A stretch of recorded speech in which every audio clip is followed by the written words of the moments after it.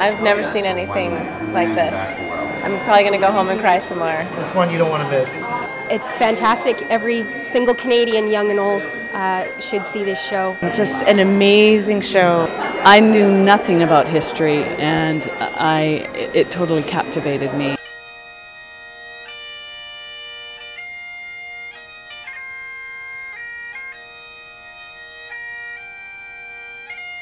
I think it was absolutely wonderful. Um, how does it go? Lest us never forget. It was brilliant, touching, funny, sincere, just brilliant. It was great. Not to be missed. This is probably my favorite piece of Canadian theater. It is moving, it's heartfelt, it's sincere, and the performance is absolutely compelling, captivating. She is absolutely astonishing as an actor. Um, it was absolutely beautiful. Probably one of the most beautiful plays I've ever seen.